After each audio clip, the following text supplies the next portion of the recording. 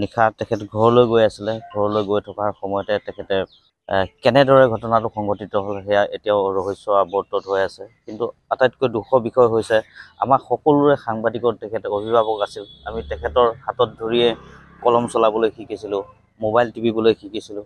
সাংবাদিক জগতখনত মৰিগাঁৱত যথেষ্ট অপূৰণীয় ক্ষতি হ'ল। গতিকে তেখেতক হেৰুৱাই আমি অত্যন্ত দুৰ্ভগীয়া অনুভৱ কৰিছোঁ। কাৰণ তেখেত হৈছিল আমাৰ পিতৃস্বৰূপ তেখেত হৈছিল আমাৰ অভিভাৱক স্বৰূপ কিন্তু তেখেতক হেৰুৱাই আজি আমি অত্যন্ত অকলশৰীয়া অনুভৱ কৰিছোঁ। তেখেতক লগত লৈ আমি বহুতখিনি কাম কৰি গৈছিলোঁ।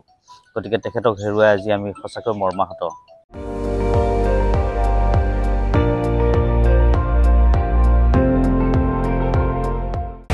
আপুনি চাই আছে এন ডি টুৱেণ্টি ফ'ৰ।